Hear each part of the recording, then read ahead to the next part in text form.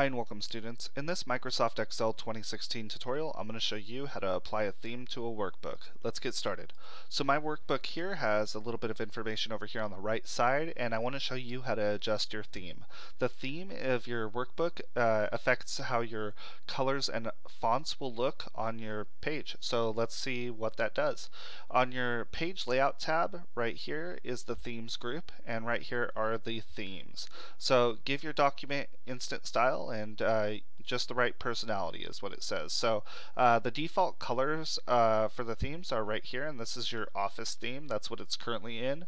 But as you move over the different ones in your themes group, you'll see that uh, a lot of things change. It's not really just the colors, it's the effects on the way the words look as well as the fonts. So um, if you ever don't like the colors that are available to you on Excel, you can always change to a different set of colors.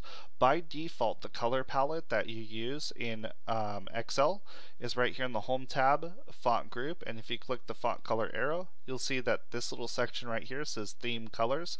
These colors come from the uh, default theme, and so this is the Office default theme, so it has like a red, or I guess a, a blue, orange, gray, yellow, blue, green, and the idea is if you choose a theme that you stick with these uh, general colors because they go well with each other. Okay, so they're um, that's the idea of themes. And so if I change my theme in the page layout, say to this one over here, you'll notice that back in my home tab, font group, font color arrow, you'll see that these colors have also changed. Now I have a pink where I didn't have that before, and so all of these colors are your theme colors. Down below you may have noticed that you have a standard colors palette too. These do not change. So theme colors do change, and they change based off of right here the theme that you choose. So the theme that you choose does affect your worksheet. It, it, affects the colors, fonts, and effects within it. So if this video has been helpful for you, please give it a thumbs up and consider subscribing to the channel. If you have any questions, please put it in the comment section below.